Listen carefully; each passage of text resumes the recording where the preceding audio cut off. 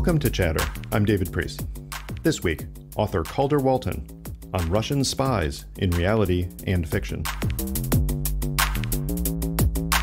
Vasily Mitrokhin was the KGB's archivist, and he set his mind to the fact that he would compile a private archive of KGB records, which he would one day hopefully reveal to the world.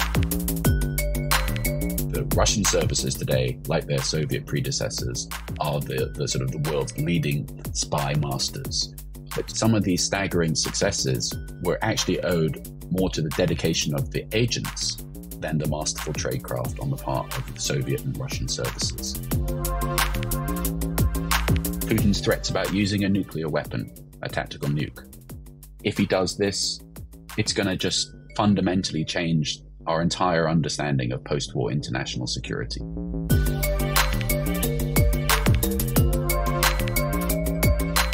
Calder Walton, welcome to Chatter. Oh, thanks for having me. It's great to be here. And it's great to have you here. I've wanted you on since we've started this podcast because your work has intersected not only with some of my interests and past career, but also you do a really good job in your public conversations about intelligence history of linking it to pop culture and the popular imagination to make sure people understand the context of this thing you have made your your life's work and I really appreciate it and it fits chatter really well so thank you for joining us. Oh, it's really wonderful to be here and that is a that's a theme uh, certainly as you as you just said David of of um, a lot of my work is uh, intelligence in fact and in fiction. Mm-hmm. Uh, there are crossovers between the two realms, of course, um, but there are also major differences. So um, I'm afraid, from my perspective, it's not all James Bond. That's a good although thing. there are although although there are some some remarkable stories that you uncover in the in the archive that could be straight out of a novel or indeed a film. Um, you know, we're, so yeah, we're, we're going to get to all of these things in depth as we talk about the fact and fiction of uh, spies in general, but KGB spying in mm. particular. Mm. Uh, but I just want to pick up on that Bond thing right away, which is it's amazing. The more I learn, even now, the more I learn about the history of the business of which I was a small part, how many things I saw in the James Bond movies growing up and other films that were just outlandish and crazy and could never happen. Uh, how much I realize, yep, you know, most of those really are. Most of those really are absurd and ridiculous, and they might look good on screen, but they don't really match with reality in any way. And yet, I discover that there are those things that I'm like, well, except for that one, right? That yeah. thing which seemed absolutely crazy. Um, yeah. Not James Bond splayed out on a table with a laser about to cut his crotch, not that one. But a lot of other things I realize, wait a minute, consciously or not, that does pull on a real story about an exfiltration or about an assassination or about a ridiculous mechanism set up for a brush pass. And there's there's a lot on both sides that the more you learn, the more you enjoy the other side, the fact and the fiction. I think you've just summarized it really well. There's um, the two the two different aspects complement each other. Um, and as long as you start watching a James Bond film knowing that it is uh, fiction, um, and you can appreciate and value it for it, a good story, but at, at the same point, at the same time, uh, some of the underlying issues that are addressed in, in the Bond books and the films um, have a kernel of truth to them. Um, so the nature of um, espionage, how how one person's hero is another person's traitor. Uh, the gadgets, yes, at key points uh, in its history, we can now see that MI6 really did have laboratories uh, where they were working on new gadgets that they could give to their officers. There really was someone called Q Quartermaster. Um, so it it there are elements of truth uh, that, of course, Ian Fleming knew, um, and then he wove a picture uh, a sort of inflated picture about the image of James Bond. He had to do it for practical reasons. That when when Fleming was was writing his books and the movies were coming out, it, it, seems crazy to think of it now, and it, particularly crazy given the U.S. perspective. Um, Britain's Foreign Intelligence Service, MI6, didn't officially exist. The British government right. didn't avow its existence. Mm-hmm. So, and there was strict, uh, the Official Secret Act meant that people who were, who wrote about it and discussed it could be prosecuted. So Fleming, for very good reasons, he wanted to stay out of jail. uh, had to embellish the, yeah, had to embellish the truth uh, when it came to MI6. But mm-hmm. uh, the the the crossover between the realm of, of fiction um, and fact, there's another side to that that I would like to that, that sometimes I see um, historical dramas um, about particularly the, I mean the area that really I know best about is the British intelligence history, um, and they're wonderful depictions. But but then the for whatever reason the director the script writers sometimes take it that step too far, and they add in an, an extra wrinkle, um, which isn't the reality. And I, I, I'm sometimes left just wondering why did they do that? They didn't need to make it that much more convoluted. There's one, I mm-hmm. think it was the, your listeners will correct me, but it was the, the film about the breaking the Enigma code. Maybe it was called Enigma. Maybe it was called the Imitation Game. I can't imitation remember off the top game, of my head. Right. It was mm-hmm. probably the Imitation Game. Mm-hmm. And at the end of it, they went one step so far. Um, it was basically discussing the existence of one of the KGB spies at right. Bletchley Park. This was John Cairncross. Mm-hmm. Um, and at the end of the film, they said, "Oh no, actually, this was a," or they suggested this was actually a clever British plot to make to make Cairncross seem like a, I guess he would be a triple agent. You're like, no, you don't need. I mean, actually, the stories that uh, that that story and then more like it are so good mm-hmm. that you don't. They, they they they write themselves. They are effectively made for Hollywood stories, if you like. Mm-hmm. Um, and you don't need to then go that one step further and embellish them for the whatever reason for they that, did that. The parallel for that, in my experience, was the the film Argo, which mm. overall was was a very good film, and in large part stuck to not entirely, but through much of the film sticks to the basic lines of of yep. what happened. And I'll yep. give them artistic license to drop certain details and to add a few conversations and embellishments. That's that's what a movie is uh, the listeners can't see me at this point, but I'm sticking two thumbs up, saying this is absolutely right. I mean, my Except, my my my my, the end. My, the airport yeah. scene at the end just takes it in a comically bad place, and it was completely unnecessary given the magnitude of the moments right before that. That's right. I th- I think my um, my yardstick for or what I aim for um, with my own historical work is to use documents to bring together a story um, that I hope um, uh, sticks to the, the truth as I can establish it, um, but also uh, is exciting to read. And I think that the, the I think that Argo, as you just said, that's a really first class um, effort, both on the part of the CIA and the filmmakers. Yes, certainly there are elements that we can argue about, but but here's the thing: if that film inspires somebody to go and read a, a book about it, that's great. And that's I've just I've just written a review of um, Christopher Nolan's brilliant film uh, Oppenheimer. Right. Um, and we could perhaps post that, David, on the on the link to this. But my my own view is that yeah, certainly there are inaccuracies. Okay, fine. And mm-hmm. it's the easiest thing in the world for a professional historian to take pot shots, sort of thing.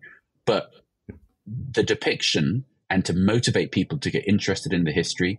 If that film uh, motivates people to go and pick up the biography of mm. Oppenheimer uh, and actually read about, it, fantastic job done. People, I think most people do have a. Uh, uh most people do realize that when they go to see a, a movie, uh, as opposed to a documentary, there are going to be elements of poetic license of artistic right. creativity. Right. So let's not let's not not every not everything in film um, or in it, in the in the written word needs to be a slave to the facts. There are possibilities to get people interested in it. I think the um, ultimate example of this in in recent pop culture, something that broke through to the uh, ultimate mass public, was the play Hamilton, which took great liberties with its source material in terms of form of presentation, certainly, but in other ways.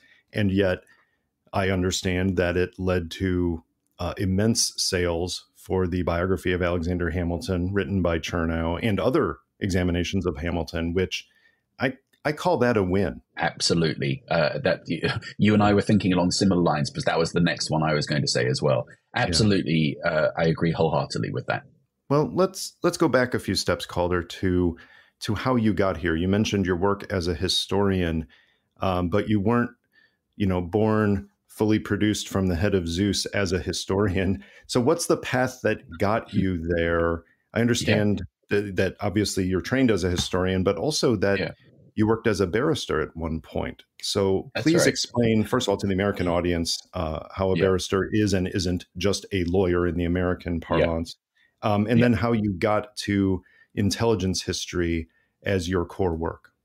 That's right. Well, um, thank you for asking that. It's it's looking back on it now. I've been in this field of research for twenty years now. Um, I was actually a medieval historian by training. So, um, you know, Latin, and um, knights and medieval kingdoms and so on. That was my bread and butter.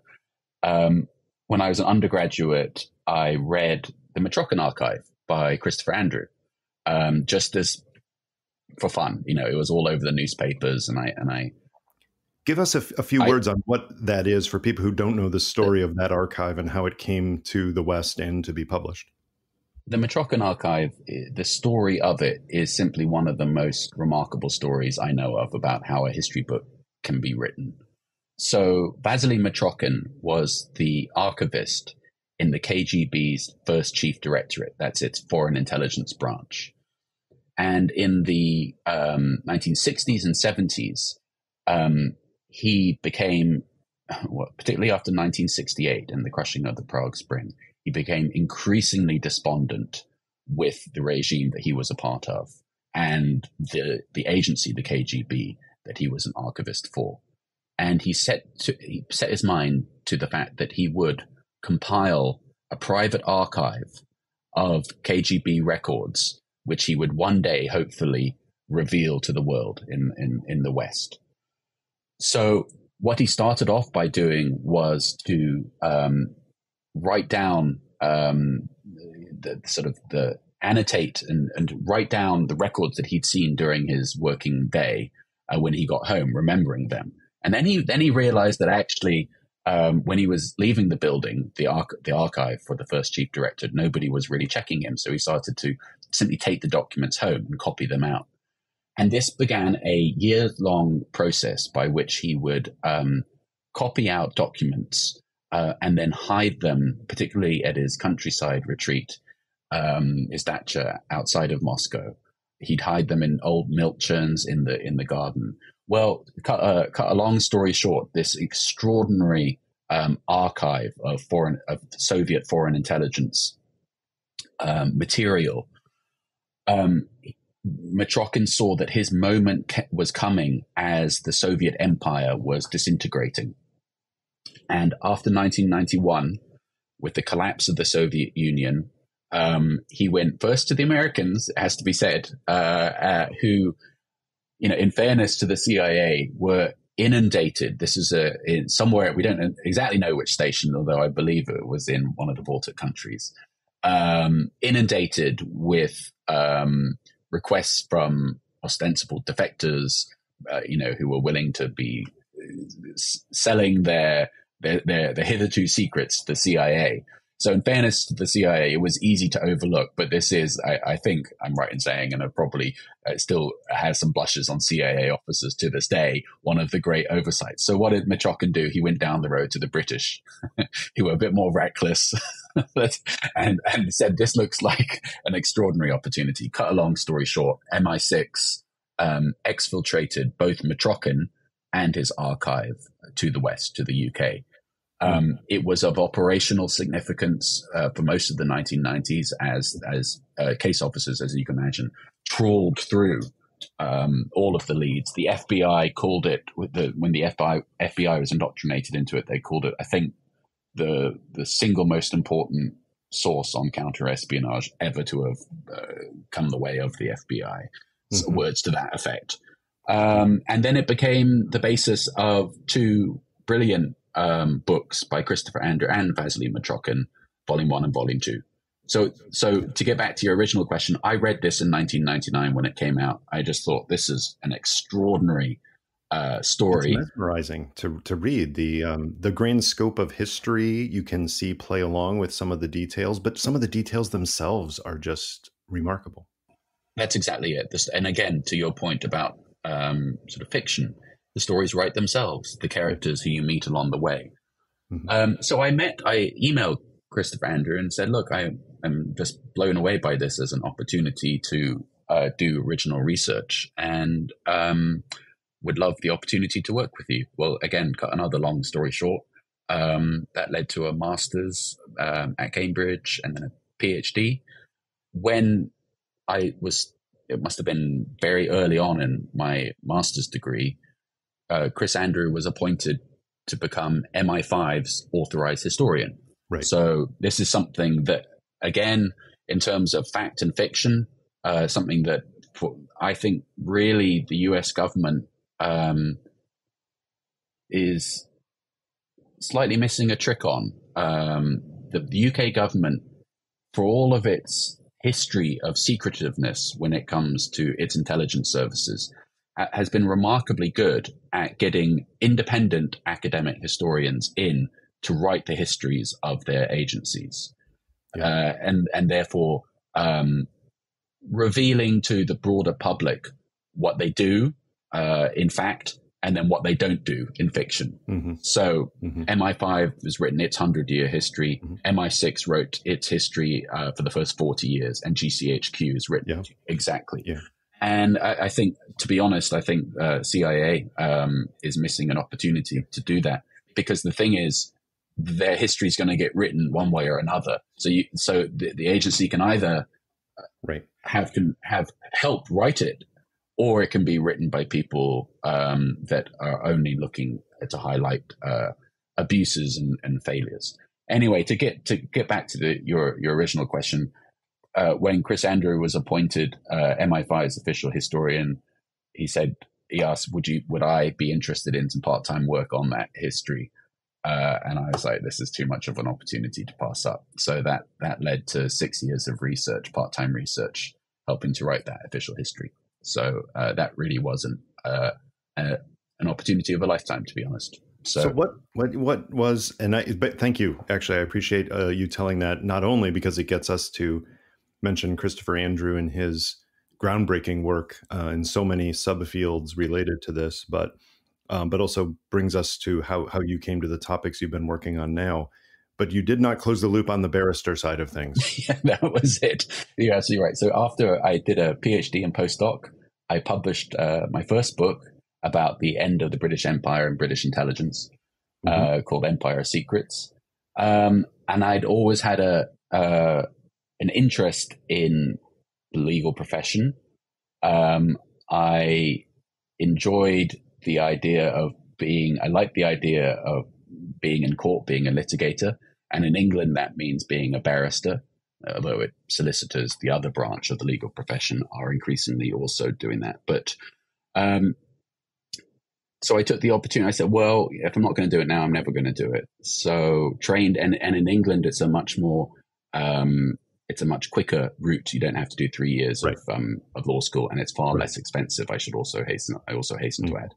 Um, so trained as a barrister, did a pupillage, and worked for four or five years as a uh, a barrister which I'm very grateful for the experience of doing. But I also uh, realize that my passion doesn't lie with. Um, I mean, some of the cases I it's it's funny how, how things go full circle. Uh, some of the cases I did involved um,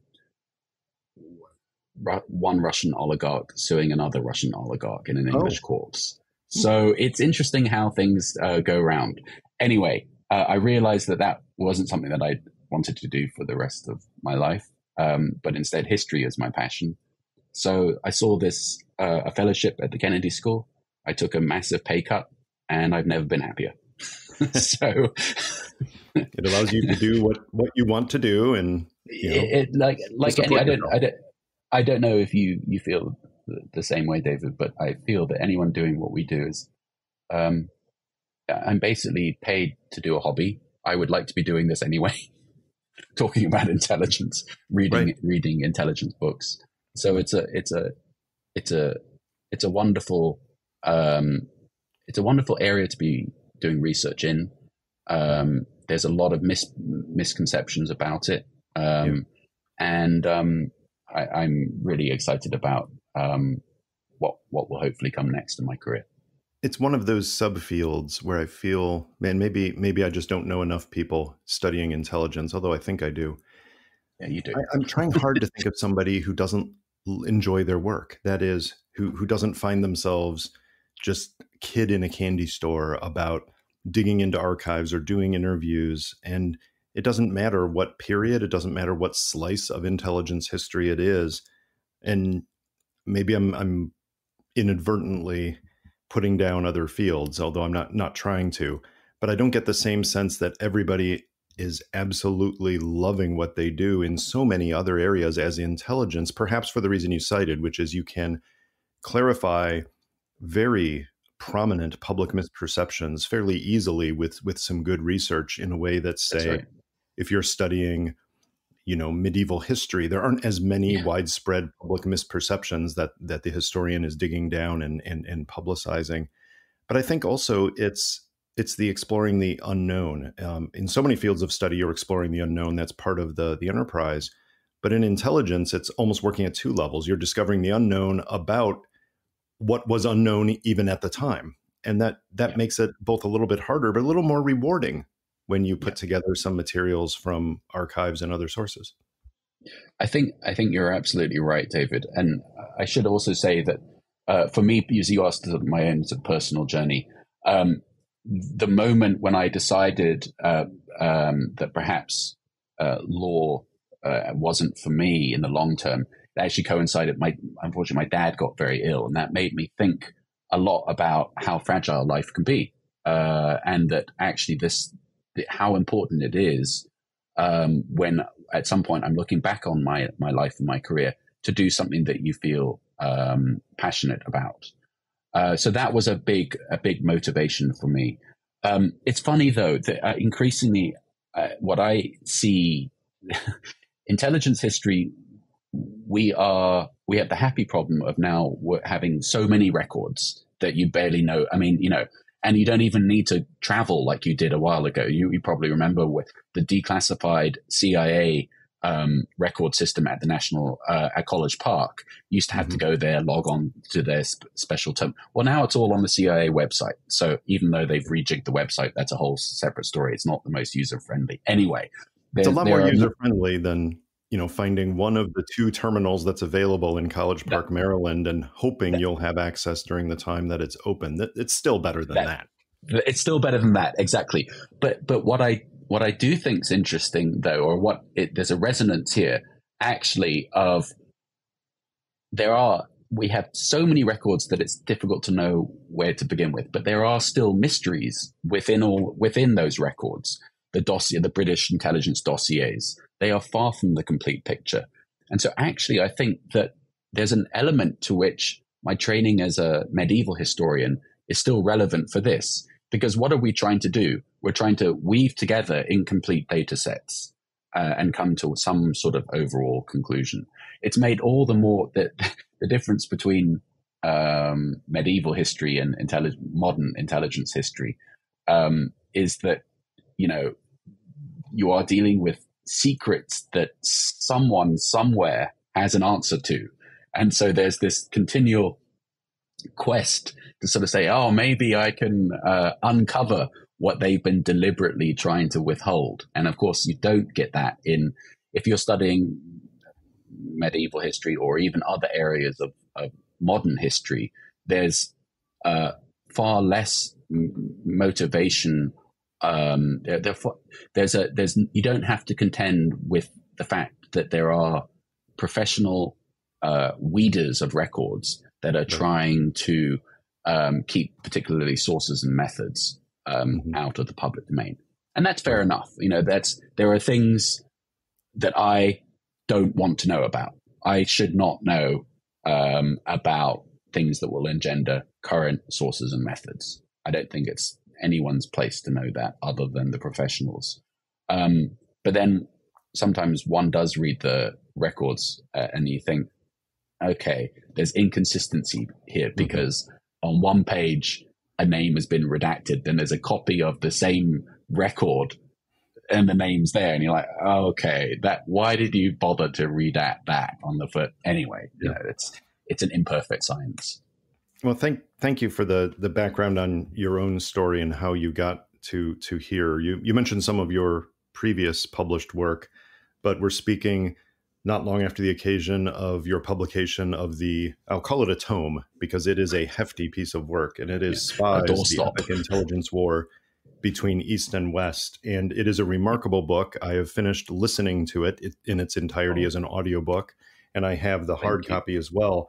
Um, it it is and will stand as probably the standard single volume covering the history of espionage between the, the West and the East in the last hundred years. It really covers that scope very well. It's not all about Tolkachev or the Cambridge Five. There have been deep dives on each of them and others, but yeah. putting them all together with with a framework and a theme that makes it approachable to the general reader, it really is a remarkable piece of work. So I want to compliment you on the effort that it must have taken to to pull together everything that went into that. What was your biggest challenge in doing it other than pure volume? Oh, well, first of all, thank you, David. I think everyone, my my wife and son, will will be the first to say we're, we're all very glad it's done, and it is a tome, as you said. What's the biggest challenge is how to um, bring this huge amount of data uh, together. Uh, there are underlying themes uh, that that that go like threads throughout it, and any one. The problem is that any one of the cases that you that I looked at could quite easily have become books in themselves, and so how does it was a really difficult balancing act between um, covering what I knew was important to cover for readers, so that so that they don't get a uh, warped sense of the history, um, but and at the same time not going so far down into the weeds that you lose people, um, other than a few very niche um, scholars. So right. it was a very difficult balancing act. Mm-hmm. The um, what's been the biggest challenge, inevitably, um, the closer we get to our own time, the archival records dry up, and so I, I was um, relying heavily on interviews. Mm-hmm. Um, that's uh, you know there's that's that's necessary. You know that that's part of the territory. Um, but again, it's interesting uh, in, in, light of my own work, previous work as a barrister um, in court, and you, you know the first thing you learn is that the people's answers depend on the questions put, mm-hmm. and so memory, even with the best uh, intentions, uh, is fallible. Uh, you know, the number of right. there have been some really remarkable case, uh, some remarkable studies about how um, people's brains work, about memories, and uh, the cognitive layering. That people in the witness stand will say wholeheartedly, hundred percent, guarantee you, the woman who was crossing the road was wearing a red dress. I was standing there, and then they're shown video footage, and she's wearing a, a blue dress. How right. does that happen? It's about questions put. It's about memory. But so that, and that happens, of course, when people are recalling events from 20 years ago, 30 years ago and stuff. So I always try to ground my interviews in at least one document, um, yes. or have, uh, at least two different sources, mm-hmm. say confirming, not just be, um, one source. And what's interesting so, about yeah. doing that at this time, I have to say, is you've incorporated into the book things that have only been declassified and released in many cases within the last year. And that yeah. changes things. I've read books about the Cambridge Five and references to Kuklinski and Gordievsky and all these people before. And yet I was learning new things because I have not been digging into all of the new material that's come out in, in various waves, uh, including quite a bit in the last four or five years. and I appreciated that. So I like the fact that we're in a sense updating our own narratives and stories about what happened as we learn more about everything from you know the Rosenbergs to Aldrich Ames. Yeah, as I mentioned earlier, it's it's there's now so much information that it's difficult to keep up uh, up to date and keep up to pace. Um, the I have to say, the UK National Archives. Uh, it's just for for any listeners who are thinking about graduate research projects it is they they do a remarkable job of declassification and then full transparency on what they're declassifying. And a lot of the files that they declassify to do with intelligence are digitized. So one doesn't even need to travel to the, the National Archives in London. You can simply download them um, from wherever you are and work on them. And it, it is, it is, and, and the dossiers, um, you know, compared to some of the the records that I from other countries that I've I've used, the dossiers uh, from the early Cold War, the British ones, they're a real testament to the the value of the UK civil service. They're all meticulously filed, um, and they they they tell it they tell a story. Uh, it's a and it, what's really I, it's it still sort of makes me so excited to work with them is that it's the same files. I mean, if if you do go there to the National Archives, it's the same files that the desk officers were using and you can see the thumb pages and you can see where the file was t- when it was taken out and who it was taken out by.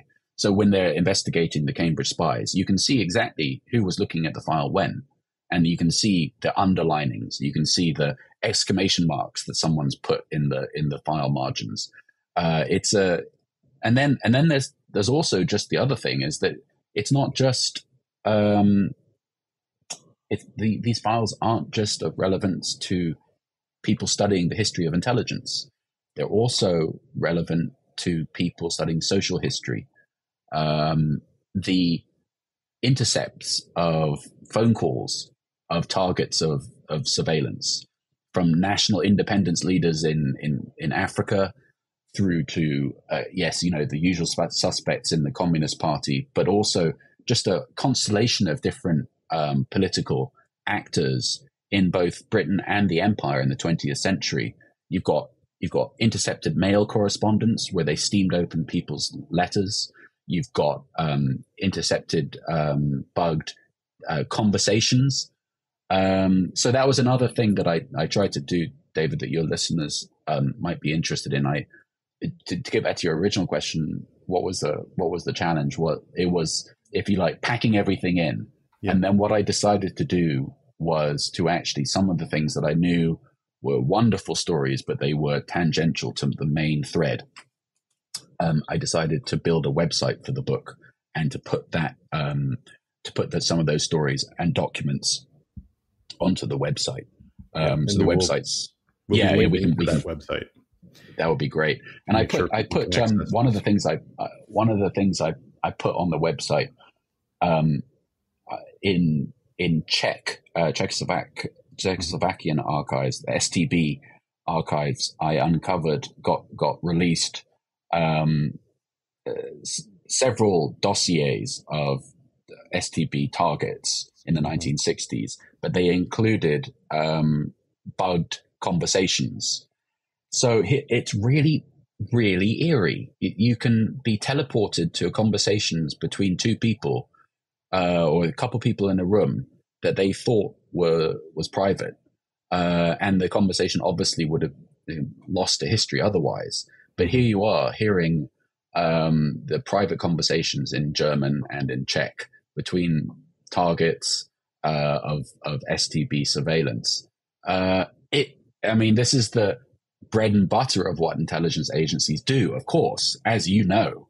But to actually hear it uh, is is I th- rather spooky. Let's just put it that way. I would think it would be hard, and I think it's hard for anybody doing archival historical research, but especially given the range of things you've talked about already, it'd be really hard not to be seduced by the research. That is, to, to finally cut off digging in the archives and having that discovery, in some cases, page after page, transcript after transcript, um, and actually start writing and pulling it together. You could have been doing the research for this book literally for the next 40 or 50 years. That's definitely true. It's also true that um, you know three quarters of the way through.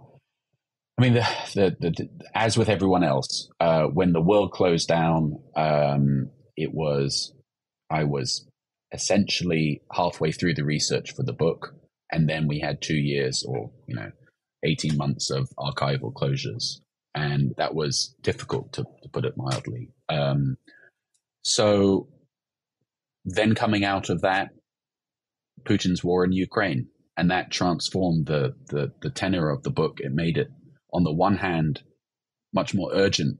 I wanted to um, bring this story out as quickly as possible. On the other hand, mm-hmm. his, history was changing before our eyes each day, yeah. and yeah. how finding that balance again between I was especially at the beginning and the end where you write something and then you're like, mm. well, actually, I don't know. And the biggest thing, David, to, I mean, the thing that still, you know, as with everyone, Putin's threats about using a nuclear nuclear weapon, a tactical right. nuke. He's threatened to do this. This was he was making these threats as I was writing, finishing the the, the book. Mm-hmm. Um, if he does this, it's going to just fundamentally change our entire understanding of post-war international security yeah. and deterrence. Yeah. So it was it was difficult to try to write um, about contemporary history uh, in such a way that it wouldn't quickly become redundant uh, with changing world events.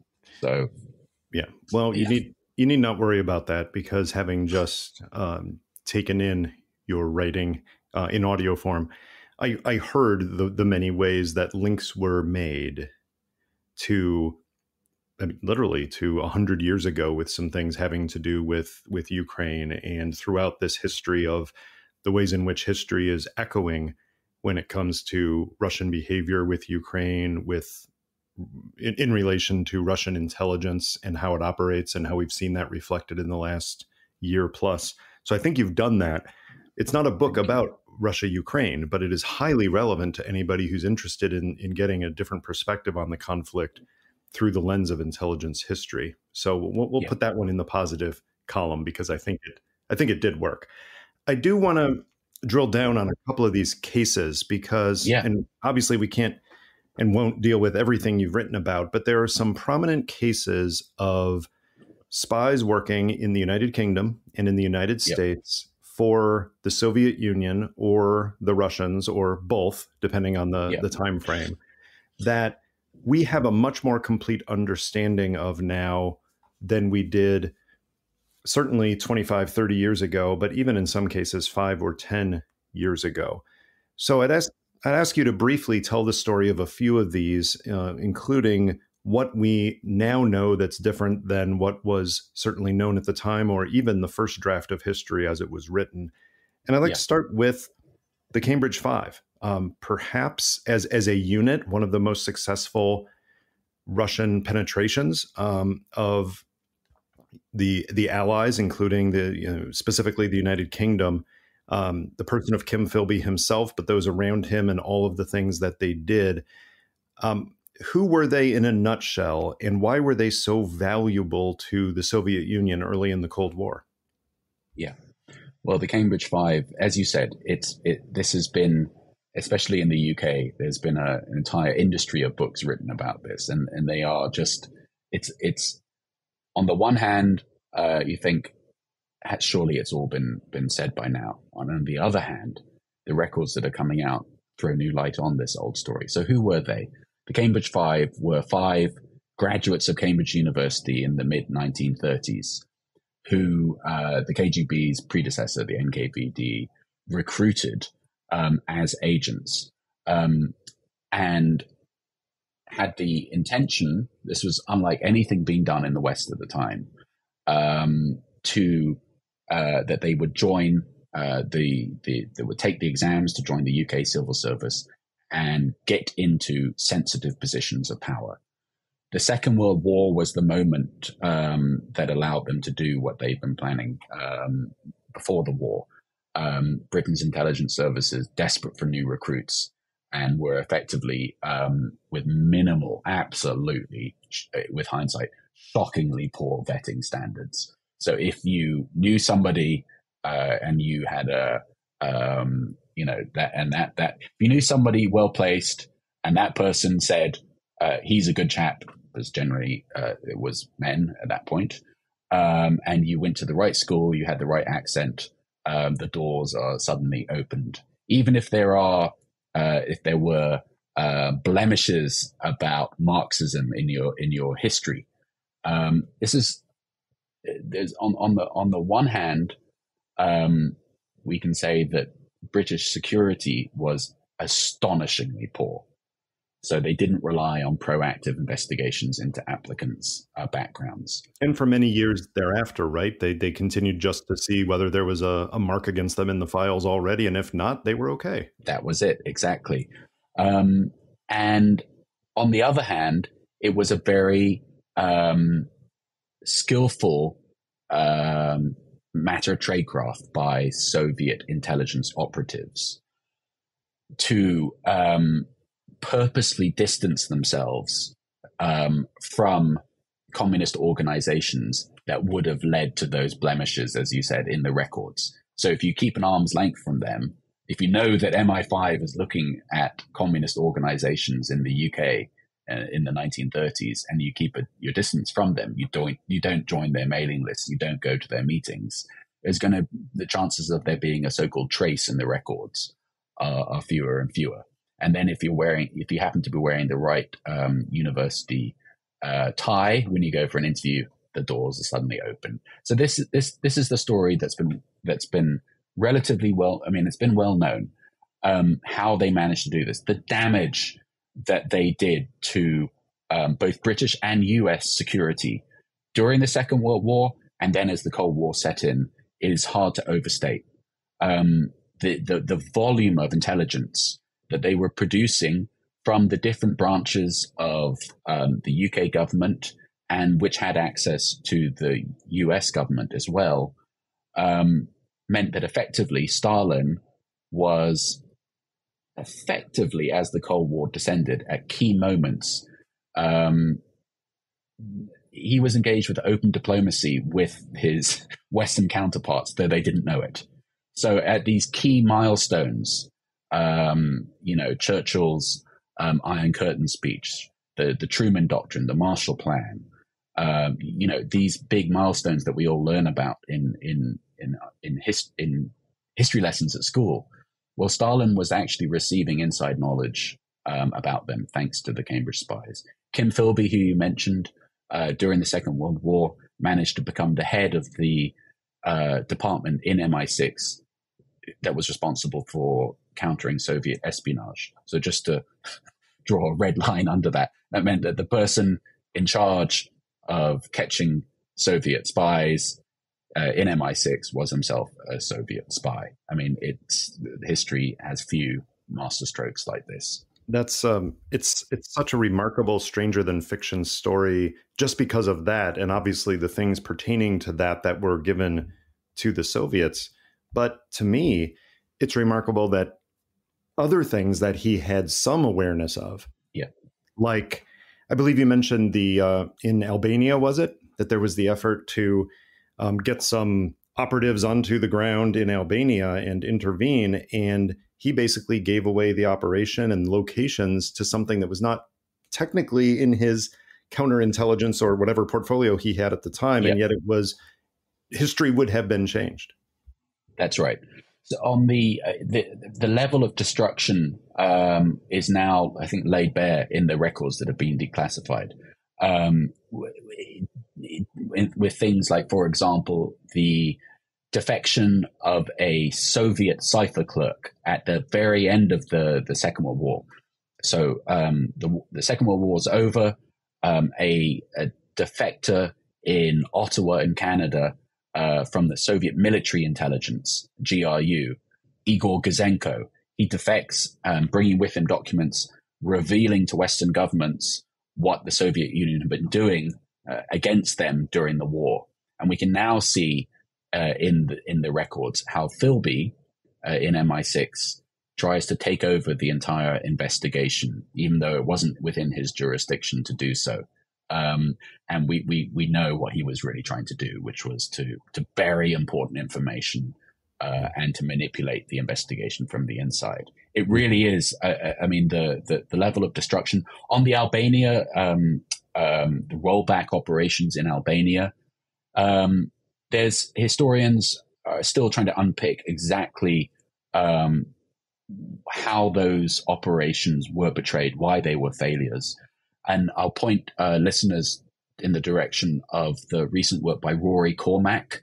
Uh, he's a um, an, a brilliant uh, historian, UK based historian, and he's pointed out, um, building on the work of others, that um, yes, Philby almost certainly betrayed those operations, but they were also, it has to be said, um, rather inept in terms of uh, security uh, on the part of both MI6 and the CIA, CIA themselves. So recruiting loose-lipped emigre groups to then parachute back in behind the Iron Curtain, uh, it's little. The, given the nature of who they were recruiting and their less than perfect security, um, it's it's not mm-hmm. that surprising that the operations um, were unsuccessful and One that's thing, a polite way of saying they the people the agents parachuted in in many cases were eliminated by Stalin's secret police. So. And there's there there are a lot of that there's a repetition of that story right across yeah. the Cold War in particular of cases where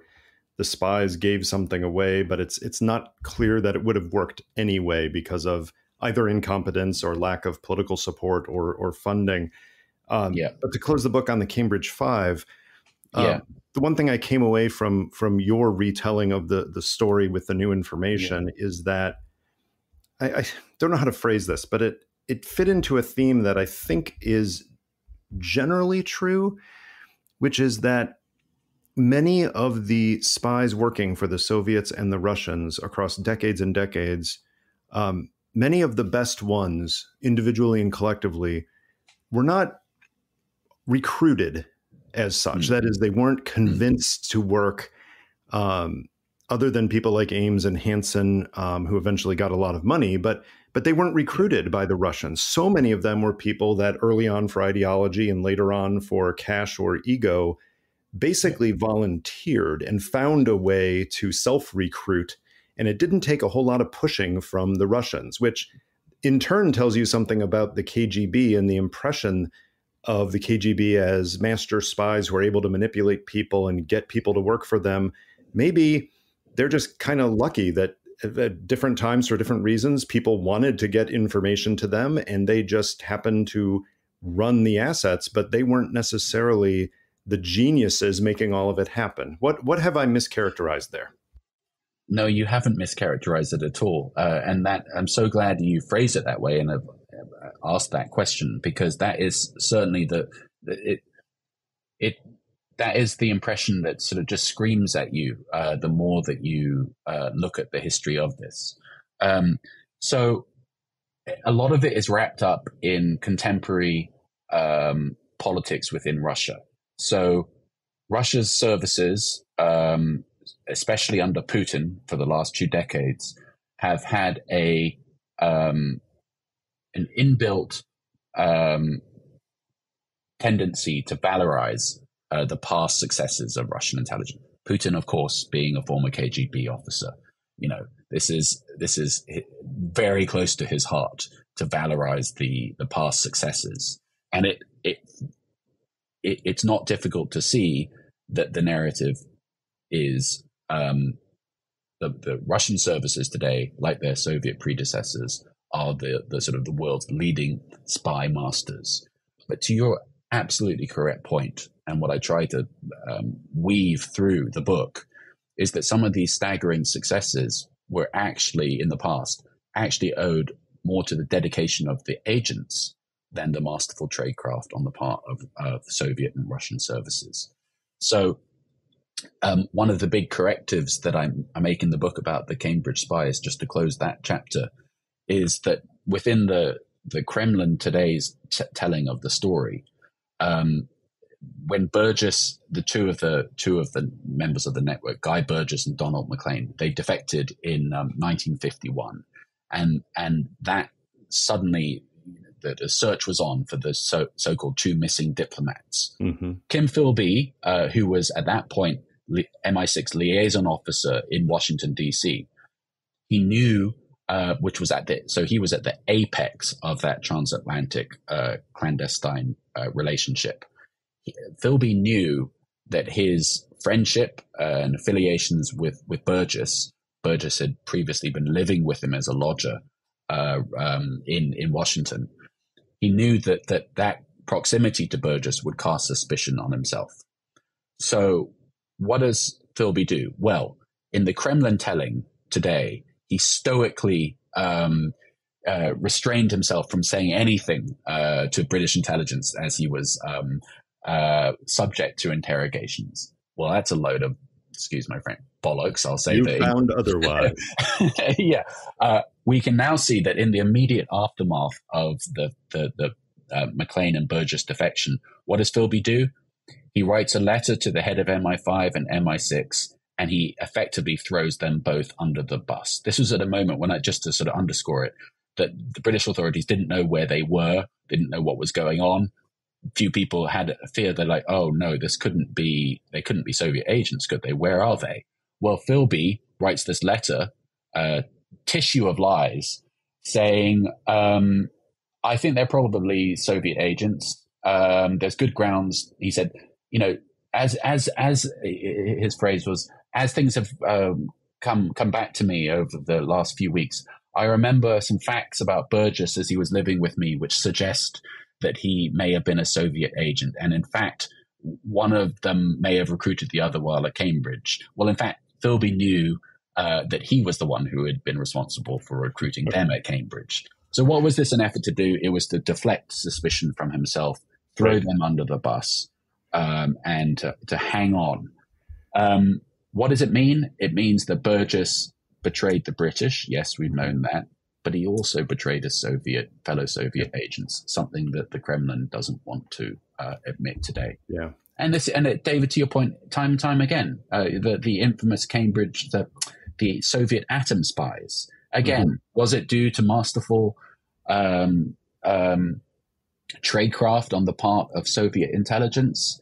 Mm. I think not. I think time and time again, it's to do with the dedication of true believers, of communist true yeah. believers, who at times were throwing so much information from inside the Los Alamos Manhattan Project that yeah. their Soviet contacts could barely keep up with it. They could barely process the information that they hmm. were that they were pushing. And then just to close the, the, the circle on this, um, at key points with Philby anyway, uh, in the in the in the aftermath of the defection of Burgess and Maclean, as the search was on, what does Philby do?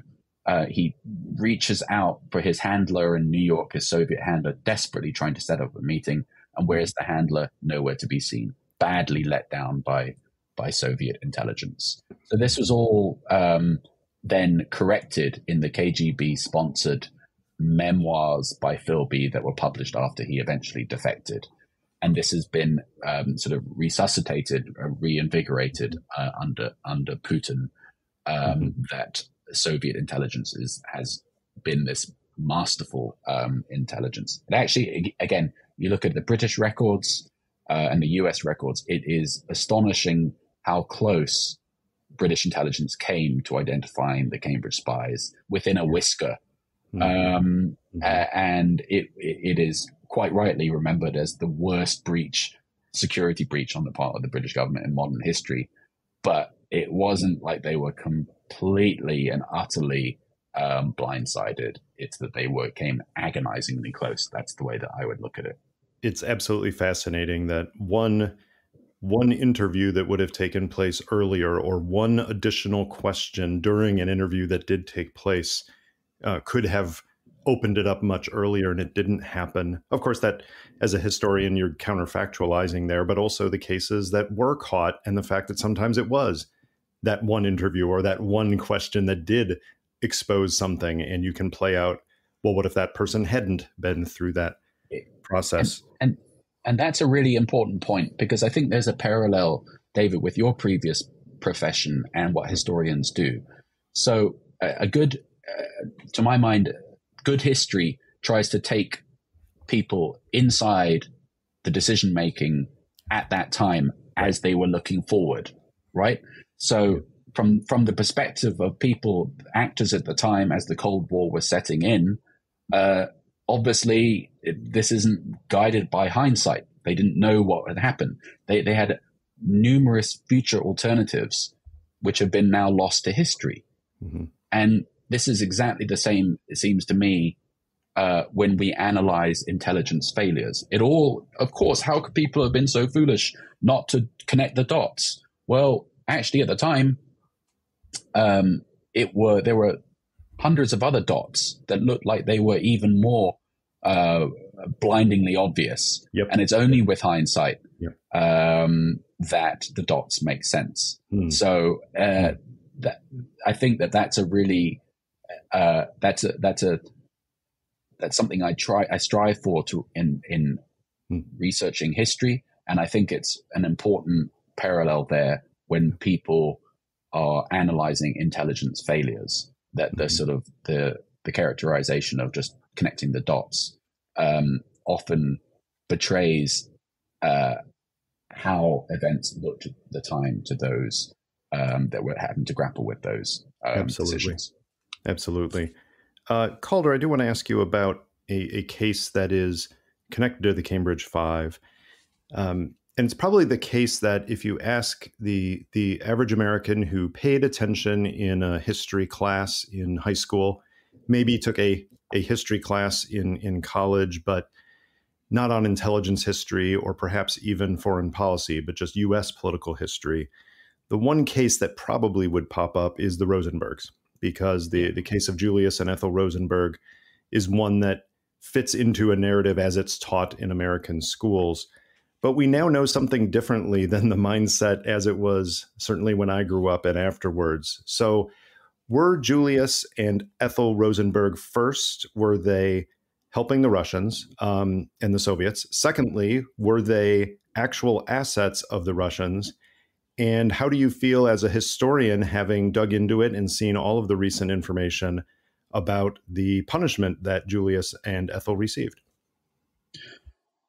Great question. Thank you for asking that. So, on the first question, Julius and Ethel Rosenberg, um, were they uh, Soviet uh, assets? Yes, um, they un- unambiguously were. Um, Julius Rosenberg was more important, it seems, than his wife Ethel Rosenberg. Um, we know this, David, uh, from the so-called Venona decrypts, which is a series of of, of um, communications decrypted um, by the U.S. government and the UK government uh, in the early Cold War. These are wartime documents, Soviet documents, and they reveal um, that Julius Rosenberg was indeed a Soviet agent. who had a code name. Um,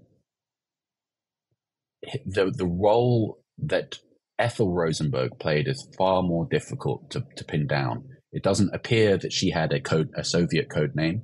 And that is important, right? Because because we do know from Venona and other archival yeah. sources that giving a code name did matter in the Soviet system. That's that's right. Um, we we should also hasten to add that that, that I, I, I, forget the exact proportions, but there are still a, a significant amount of Venona decrypts that have not been de- uh, decrypted. So, does her potential code name exist in those? Possible. I think it's only fair to say that. Um, but certainly, um, her significance uh, to atomic espionage has not been confirmed or revealed any further by documents that were um, made available in the 1990s after the collapse of the Soviet Union. So the the the over the, the headline to that I would stress for listeners to take away is that her role was ancillary to Julius Rosenberg's. Um, he was unambiguously a Soviet agent um, who knew what he was doing and was helping to funnel uh, atomic secrets to the NKVD, to the to the um, Soviet intelligence. Um, how does then th- this make me feel about um, what happened to them? Well, I, I follow here the work of uh, the, the remarkable work by John Earl Haynes and Harvey Klehr, uh, mm. two of the, the best historians about Venona and American communism. And they make the point uh, in their various books um, that if it's a it's a it's a tragedy in many ways. The on so many different levels. Mm-hmm. The U.S. government knew from the Venona decrypts that Julius Rosenberg was guilty, that he was a Soviet agent. The right, U.S. government right. couldn't produce that information in court. Exactly. So they had to find other ways of of of, of doing that um, through um, cross examination, tripping them up. And this was true of the Rosenbergs and true of other uh, Soviet agents.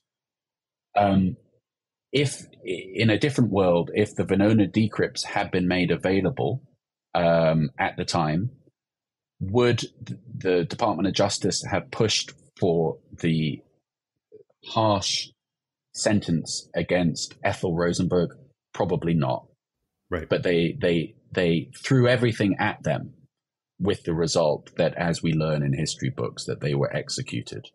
Um, reading their pleas for clemency uh, in the files at the Eisenhower, Eisenhower Library still sends shudders down my spine.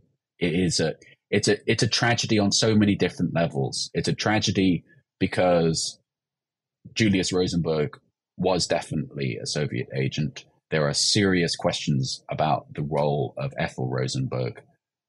What would have would the would the Department of Justice have pushed for such a harsh sentence, um, pushed for the death penalty, um, in in in circumstances where the Venona decrypts could have been made available?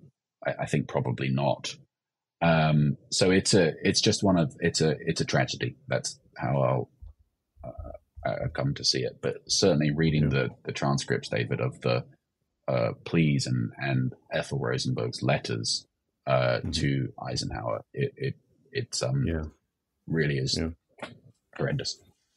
Let's um let's talk about a case the the other side, which is a a Soviet spy uh, for the for the West. And I'm thinking here one great case that people don't know the story of. Again, most people in America hear about the Cuban Missile Crisis. It's it's the one thing people hear more than anything else.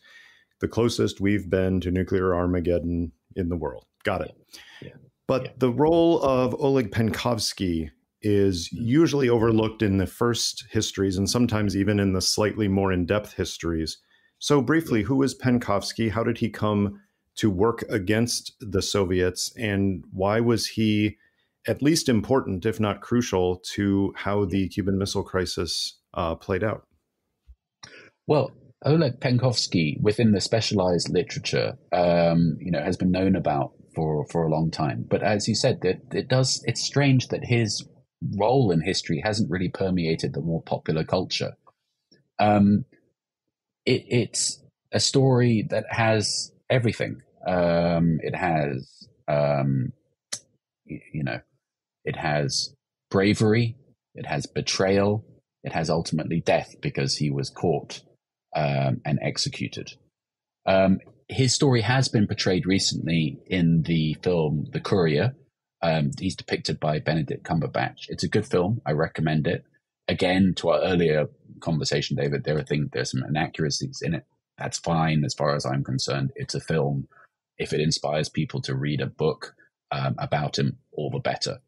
Oleg Penkovsky um, was a senior officer in Soviet military intelligence, the GRU, um, who had access to um, information about the Soviet uh, arsenal. He was motivated by, uh, uh, it's difficult to unpack his actual motivations. He was motivated by um, a disgust for the Soviet regime that he was part of. He was also, it's fair to say, his own career probably stalled, um, and that he he wanted to advance his career. He was perhaps thinking about life in the West, Uh, and he was also motivated by money. He was a playboy by all accounts as well. Uh, so he was he was um, certainly had multiple affairs going on at the same time. He's a um, complicated so human being, was, right? So we want a complicated human so being. Clean, white hat, black hat, and sometimes people that, are people. That's exactly it. I think it never have more true words been said when whoever it is that said that defectors are often defective, um, and that certainly um, let's just as you said in a very neutral, polite term, he was a complicated individual. But the the intelligence he had, the, the information he had access to from deep inside uh, the GRU archives became extraordinarily valuable, um, first to the British intelligence service MI6 and then to the CIA um, as the world came closer to the Cuban Missile Crisis. He was actually arrested by the KGB um, at the height of the, the Cuban Missile Crisis.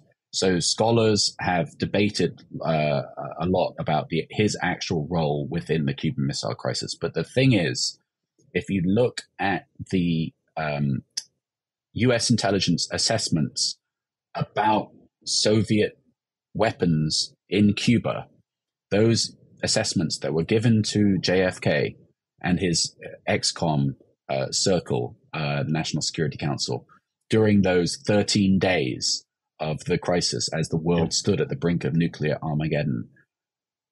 All of the most important assessments have a code name at the top, and the code name is Ironbark, and that's the code name for Penkovsky's intelligence. So, in other words, and this is, and, and David, you know more about this being at the, the, the, the, the coal face of this. One small little code name, easy to overlook in the records, actually symbolizes a colossal intelligence collection and analysis program below the surface. So that Ironbark code name was the code name for, for the information that he had spirited out of um, GRU archives. That information, including technical specifications about Soviet missiles, meant that when, as we as we all remember from history, when the when the U.S. government through the CIA's um, uh, spy plane, the U 2, eventually photographed Soviet missiles in Cuba, the, the photo analysts were able to cross reference what they were seeing in the photographs against the information that was available um, from Penkovsky's intelligence, Ironbark. And, and actually, that stamp at the top of the assessments given to JFK, it was a sort of saying this is this has been cross referenced against the gold standard that we have it from our spy uh, on the inside. So whatever um, stories, whatever, and historians have debated about the actual role, his motivations, what was he trying to do. That the reality is that those key documents um, were all uh, assessed against his um, his intelligence. One of the things that didn't, though, that I think again, if if you like, Penkovsky is not really well known within the history books when it comes to the Cuban Missile Crisis. Um, although when I went back and watched the film on the on the Cuban Missile Crisis, Thirteen Days, what's striking, David, is that the beginning of the film they actually say, "We know from Ironbark," which is a very um, very specific, technical, reference. very specific reference. And and I think most people, most viewers of the film, would just like, would just pass them over and be like, okay, whatever. And it's only now yep. you're like, actually, they were they were really onto it, where they knew it. But but yep. here's the thing that I think is important, uh, and this is a picture that's far from complete, and I'm really laying the challenge down to other scholars. But the role of signals intelligence, NSA, um, in the Cuban Missile Crisis, I've done my best to sort of um, illuminate newly available records about the role of signals intelligence during the Cuban Missile Crisis, um, not least using NSA's declassified in house histories. Um, but it seems to me that actually a lot of the emphasis that the CIA placed on Penkovsky may have been an effort by the broader US intelligence community to try to get the message out that the US intelligence community was actually uh, providing valuable I- information to Kennedy. It came from human intelligence, Penkovsky, But I wonder whether the emphasis placed on Penkovsky was a, if you like, a somewhat of a camouflage, also to um, reveal, uh, in all but name, other sources. In, in, other words, technical intelligence collection from NSA. Right. Um, and the role of uh, NSA SIGINT during the Cuban Missile Crisis is a mm. is a is a field and a subject that I think deserves a lot more attention going forward. It's absolutely amazing that something that has been so studied and restudied still has areas for deeper exploration. It's remarkable. Well, the the the, the best uh, thing that we have in our favor is that um, bureaucracies and uh, clandestine bureaucracies tend to be very apprehensive about letting their their documents out. Right. And so, actually, we find that time and time again, and it, it's especially true, it seems to me, um, with the signals intelligence technical areas of technical intelligence collection, where um, you know, lo and behold, oh, here's a here's a formally classified history of the Cuban Missile Crisis mm-hmm. that talks all about signals intelligence. Oh, that would have been really nice to know about thirty yeah. years ago or something. So it's a, it, it's going to be the gift that keeps giving. It seems to me. Um, a couple of other more recent cases that seem to fit into this theme of the Soviets and then the Russians not being the master spy geniuses, but in a sense being more reactive and perhaps lucky. I think about the cases of Rick mm. Ames at CIA and Robert Hanssen at the FBI, mm. Who, you know, Rick mm. Ames needs some money and offers up some information to the Russians and then decides once I've gone down that road, I'm not going back and keeps doing it. And yeah. the Russians handle him, but there's nothing there's nothing magical in the way they do it. And then even more so in the Hanssen case. And Hanssen, of course, died recently in uh, Supermax prison yeah. for, for, what he did. Um, yeah. But Hanssen's yeah. case, he he was essentially his his own handler. He he didn't allow the the Soviets to give him their equipment. He didn't allow them to to tell him where to do dead drops or anything else. He was basically running himself because he knew both the Russian and the American side of counterintelligence pretty well. And in both of those yeah. cases, absolutely devastating for not only uh, American national security and Western security, but also for a whole bunch of assets in the Soviet Union, but not necessarily shining moments for Russian intelligence in terms of identifying, you know, spotting, assessing, developing, and recruiting good sources. These were cases that just dropped into their lap, right? That's right, uh, which fits within the, the, the narrative that we've already been talking about. I think it's absolutely right. I think in the uh, later memoirs of of um, both Rick Ames and Robert Hanssen's uh, KGB handler, um, he tries to suggest that I think it's Rick Ames um, had actually an ideological affinity for Russia. That's the load of nonsense. They, these are these were these were uh, mercenary uh, operatives interested in their own ego, uh, interested, motivated to have a lifestyle that they didn't have, uh, and earning some earning some money, and to do as they saw, um, to do one one over, get one better than uh, other people in their agencies um, whose careers were um, uh, doing better than theirs was. So this was again like the Cambridge spies, devastating for U.S. Uh, national security. It's a parallel with the Cambridge spies in, in the case of Britain, but it also um, the thing that uh, becomes so clear looking at this history is that there's the initial damage, collateral damage of secrets that a mole, Rick Ames or Robert Hanssen in the FBI had access to, um, and then trying to understand the damage done. But then there's the longer term um, chilling effect. Um, it seems to me on um, on agencies and the and the bureau. So what does it say for uh, colleagues, people who thought they were friends with these these people, that they were in fact betraying all of them. And it also leads to very real um, cases where innocent people were accused of being Russian spies. I'm thinking of the case of Brian Kelley, a CIA officer um, who was um, um accused of being uh, a Russian spy, um, who turned out to be Robert Hanssen Brian Kelley's um, went through went through hell uh, in terms of his own career in the CIA. From what I gather, he he never um, carried a grudge um, and understood that this was the inherently uh, awful reality of working in the espionage and counter espionage world. Um, but it lead it so that's a long way of saying it. It the, the significance of these cases, as with the Cambridge spies before, is not just about the the um, granular intelligence um, betrayed, secrets betrayed to. Moscow. Mm-hmm. It's mm-hmm. about the um, then the collateral damage on yeah. people's um, yeah. faith in their agencies uh, and their recruitment capabilities. Mm-hmm. mm-hmm. So, building on this theme um, of the, and you can go back to you know Chekists and NKVD and perhaps GRU and KGB and now SVR and FSB. I think we've hit all yeah. the letters. Yeah. Uh, the fact that there's not a lot of evidence of certainly not prolonged, consistent genius level work here. That a lot of it is chance and taking advantage of opportunities, um, but but not this master spy narrative.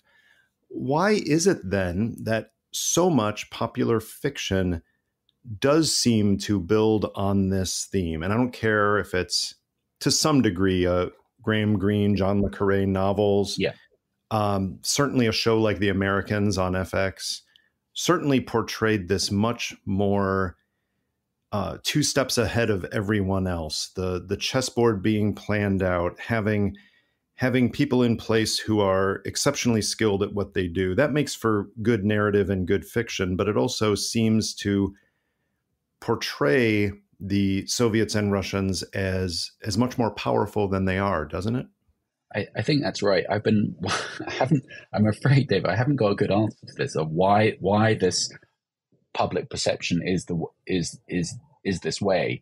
Um, and there's something, first and foremost, there's something I think within Russian DNA, um, that makes, um, Russians both love the world of espionage and good storytellers about it. Um, and there's also a tendency in the West, particularly in Hollywood, that in any narrative we need a good baddie, don't we? Good baddie, a baddie, a bad baddie, and and that um, the Russian services, you know, fit the fit the bill uh, given their their past crimes. I think one of the things that um, we we talked at the beginning of our conversation about the Mitrokhin archive and and how that revealed KGB crimes um, to the world. The thing the thing that I've tried to correct in in this book is you know one can be forgiven for thinking if you pick if you read the Mitrokhin archive that its tentacles went everywhere but actually um, what were Western services doing about some of those self same operations? So that is the big corrective that I think um, I've tried to write with this book mm-hmm. is that yes, f- formidable. And, and, and the thing is, we're, we're effectively arguing or debating about how Russia got to its end results of some extraordinary successes. So stealing the Soviet atomic bomb, the plant, the secrets of the atomic bomb, that mm-hmm. changed history. That yeah. is yeah. clear as day, one of the most remarkable successes in mm-hmm. espionage history. But what we're debating about is how the, the route by which they did so. Was it through tradecraft or mm-hmm. was it through, um, as you say, like opportunity of running with agents that presented themselves? So there's mm-hmm. a subtle and important nuance there but we also don't want to to forget the big picture. So Russia's services, past and present, have been mas- absolute masters of disinformation.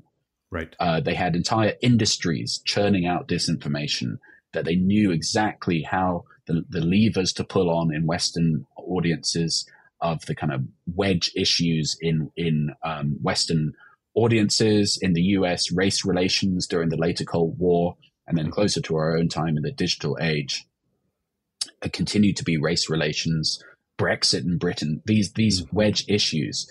Russia, past and present, has known how to exploit them. But that that in itself, disinformation, isn't a good example of um, a bit more nuance being needed. Because if you simply look at the the the, the volume of disinformation produced, the, uh, the the levers of power that they were playing, one f- could be forgiven, as indeed after 2016, with when it was revealed about Russian electoral interference in the U.S. presidential election, that Putin is this master puppeteer, yeah. playing playing people on the world stage, and I and I think it's a bit like it's the same nuance of understanding past successes uh, with espionage as we need that with understanding disinformation. If you simply look at the volume pr- of production, you don't ask um, the much more difficult question, which is what difference did it actually make? And, mm-hmm. and inherently, Dave, the, the problem with that is the why most people don't want to ask that is that it's basically impossible to to answer. Uh, to, we will probably be debating for the rest of my life exact the exact uh, impact that Russian uh, electoral interference, Russian disinformation had on the 2016 election. It's unambig- unambiguous, clear as day, that uh, Putin ordered a active measures campaign to promote the, the candidacy of Donald Trump and to undermine that of Hillary Clinton. Did mm-hmm. that effort sway the election? I, I, I, fear that's just going to be impossible to answer one way or the other. Um, it's so it's it's so largely unknowable just because um, how can you determine it objectively from the outside when most people can't objectively determine what was the defining factor in their own vote, right? Because so exactly. so many things feed on each other, create narratives, create stories. You have actual memories, as you pointed out earlier, of things that didn't exactly happen the way you think they happened. All of that That's is right. built into a decision to vote, and yep. multiply that yep. by 100 million, um, that creates a whole lot of uncertainty in the variables. That's exactly it. And but that is the inherent. Uh, to get back to some an word that you a word that you used earlier, um, that's what makes this subject so seductive and so mm-hmm. interesting mm-hmm. to study. Is that there are layers of you, you know you have on the one hand you know that an operation took place, be it Soviet espionage in the atom bomb project or um, Russian active measures campaign targeting the 2016 election and the 2020 election, um, be it may. Um, but then within that, then there's a there's a layer, shades of grey as to what the actual effect of both of those uh, those were, and that's right. where I think it gets really interesting. Another difference that you you highlight at a few points in in your most recent book that I think is not well understood is that the United States, and I would include here the United Kingdom and other allied countries, do one thing in their intelligence operations and their entire enterprise that is considered very important. It is why do you collect intelligence? So that you can analyze it and provide assessments to policymakers that help them make tough choices in a difficult and uncertain environment. That's the whole point. You don't collect intelligence for its own sake, you collect it so it can be acted upon by policymakers. The the Soviet Union and seemingly to some extent the Russians also had a different approach to analysis. Um, personnel is policy, and I think you highlighted the fact that at one point there were around a dozen intelligence analysts in the KGB when the United States alone had many thousands across several agencies. And that analysis, traditionally in the Soviet sense, we have some indication from Soviet and Russian sources, that analysis was very much doing what is anathema to Western intelligence services, which is telling policymakers what they want to hear, not what they need to hear. Talk through that a bit. Well, it, it seems to me it all stems from the nature of the regimes that um, in one party states, um, in the Soviet Union under Stalin, for example, um, his military and his intelligence officers had the very, very, very real fear for their lives. Uh, so in the in the pre-war years, there was the Stalin instigated the Great Terror, mass purging and liquidations of his military and intelligence officers. So this was, to put it politely, to put to put it sort of flippantly, not an environment in which an intelligence this wasn't going to engender a situation where an intelligence officer was willing to challenge the views of um, Stalin. That's putting it tritely, to say the least. This, although to a lesser degree in the in the uh, subsequent years, this continues on under um, different Soviet leaders. That the, the the KGB's purpose was, even in the later Soviet period, to provide quote unquote loyal information or patriotic information that confirmed rather than challenged the worldviews of the Politburo. Right. Um, that's not to say that, that the KGB wasn't didn't have in its files and didn't provide more robust an- analysis, particularly in the later period, than other elements of the Soviet bureaucracy. But it was still confined within the as part of the, the system that it was a part of. And we see, it seems to me, Putin's uh, regime is really a throwback to, in many ways, the Stalinist uh, regime. And we saw this, his saw Putin's um, attitude and the way that he viewed foreign intelligence as clear as day before the invasion uh, of the Russia's invasion of Ukraine, where there was this bizarre, if you remember, this bizarre National Security Council meeting um, that Putin had, um, and it was uh, televised uh, for the whole world to see. It was also pre-recorded, as people were pointing out, because people's, if you remember, watches were showing different times.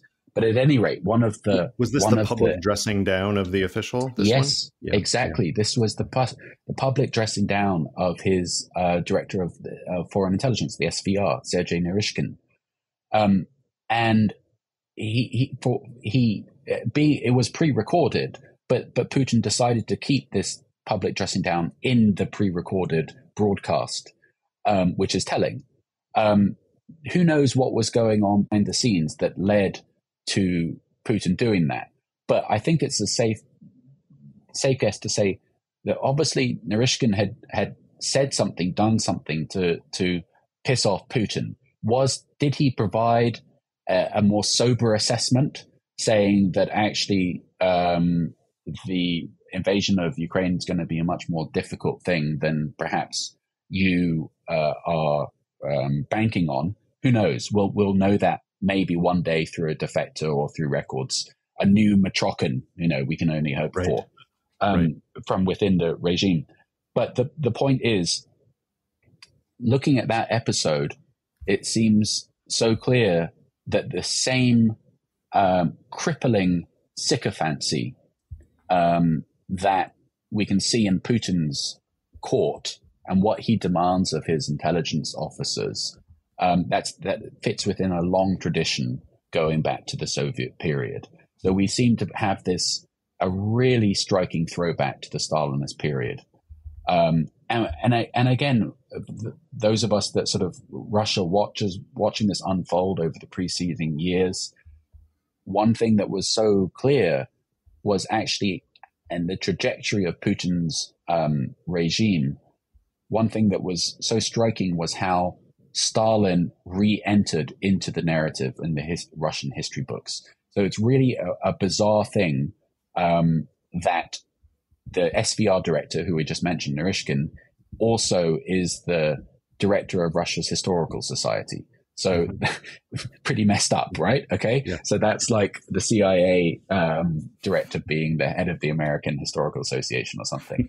but but what you saw on the uh, in the in the preceding years, especially as the SVR um, uh, approached its 100 year anniversary, um, is that the um, hagiography, the, the, the, uh, the, pamphlets that they produced, um, uh, embellishing its past successes, what, what, you, what you found is that um, some of Stalin's phrases were mm-hmm. re entering um, that right. the, those periodicals, those publications, in a way that wouldn't have happened five years, ten years before under Putin. So mm. that that was a real trajectory of alarm for those of us that were watching it closely. Right. In terms of these fictional representations of Soviet and Russian spying, have you seen any that stand out to you as particularly good? I mean, I know some are wildly entertaining from the fantastical to those, but not the representations of real world events like Oppenheimer or Bridge yep. of Spies type things, but actual fictional fictional representations like the Americans. Are there any that you find are uh, rising above the others in terms of either their representations of reality or their clever use of real world events? Oh, um, you already mentioned David um, the Americans, and I, I, I think it's a really fantastic uh, series.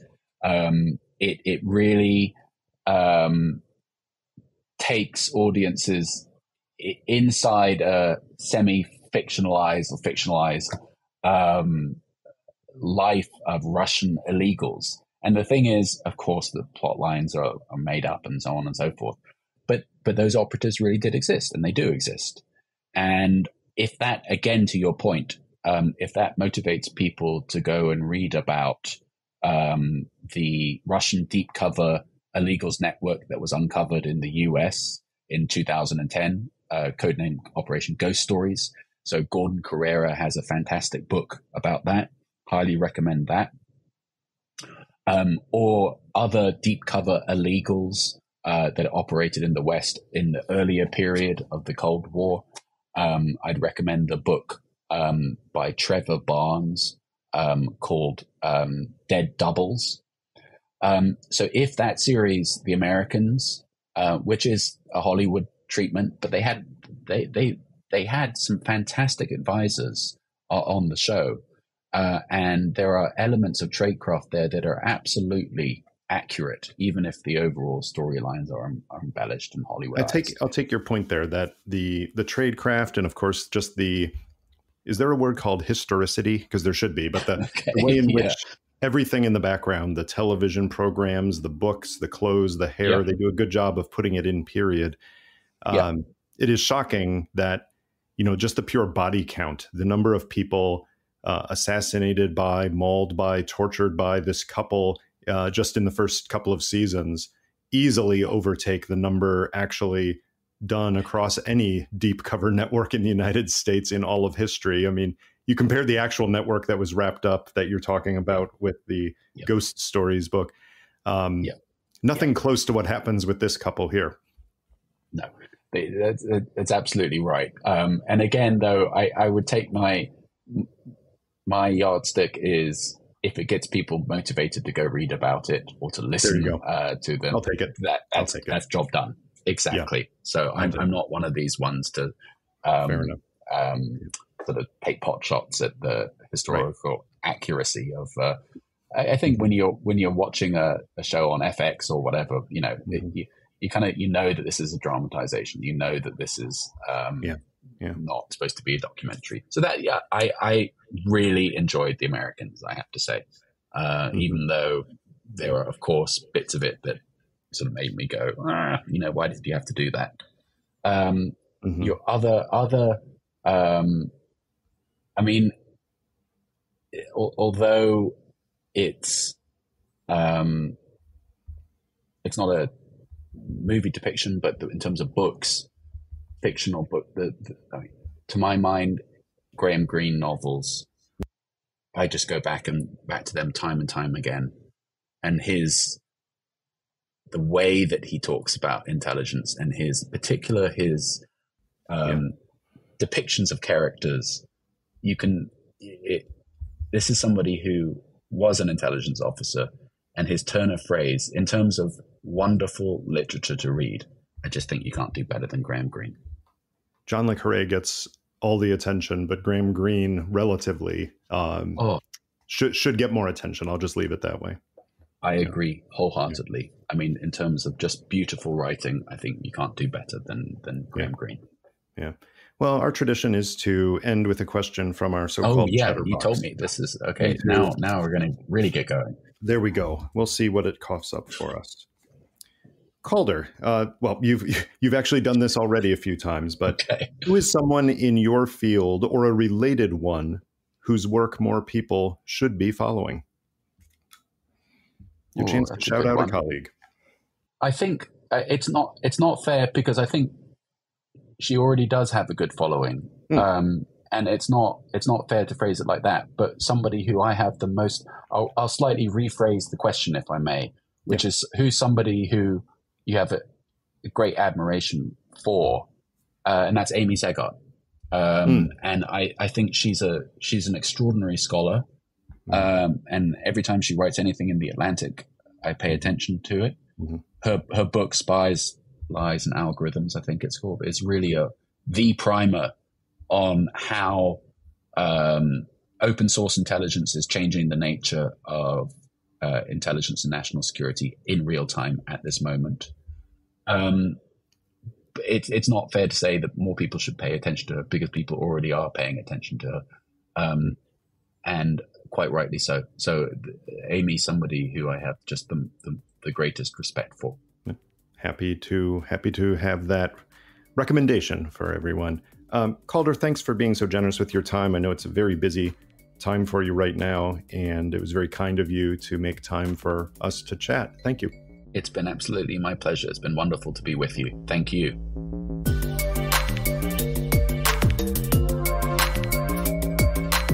That was Chatter, a production of Lawfare and Goat Rodeo.